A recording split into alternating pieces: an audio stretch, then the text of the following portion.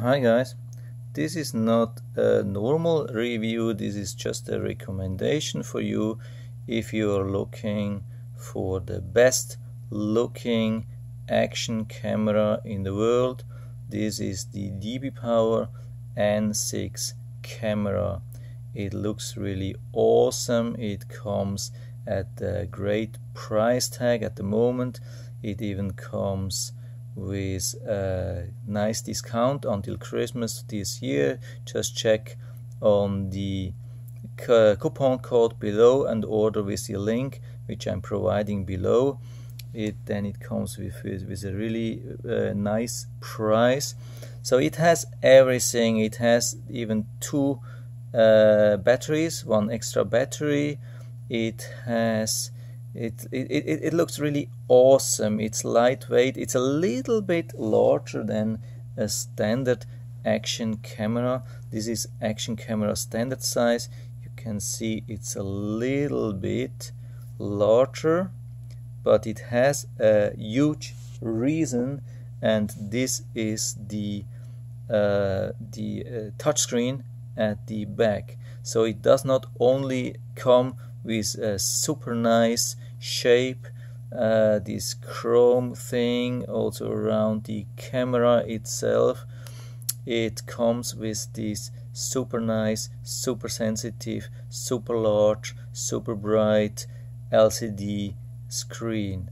So you can see I've never seen such a good touchscreen in an action camera. This is not multi-touch but it's really super sensitive. Okay so this is really awesome. You can scroll through all the things. You have a lot of uh, options with the touch screen. And it works really great. It has makes good quality pictures good quality videos.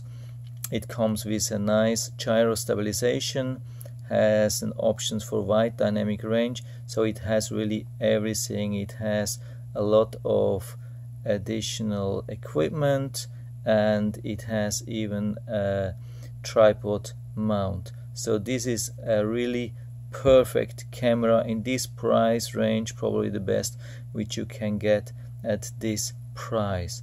So I can only recommend if you want to buy something for friends or kids this is a good buy so no problem at all. But make sure you buy uh, micro SD card because it doesn't come with a micro S, uh, micro SD card. So apart from that, everything is included, but make sure you buy the micro SD card, otherwise they won't be able to use the camera from the beginning. Yeah, uh, that was it. Short video, short recommendation. I hope I was able to help a little bit with that. If you have any questions, write to the comment section below. If you liked the video, give me a thumbs up, subscribe my channel. Thanks for watching. See you next time.